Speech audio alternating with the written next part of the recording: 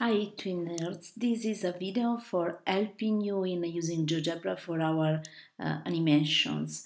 Um, the tool to use is uh, the slider and here we are going to construct uh, two complementary angles.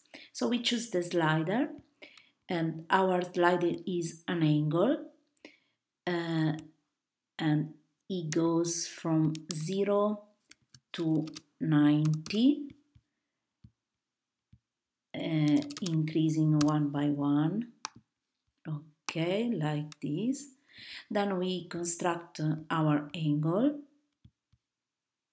the right angle.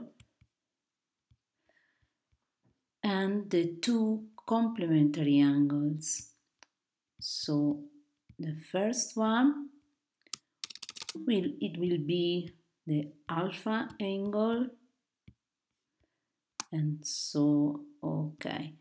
Uh, we will see this angle. Maybe uh, we can also see its side and the amplitude here. And uh, it changes uh, from 0 to 19 and we want also to show the complementary one. So here. And we say 90 minus alpha. Okay.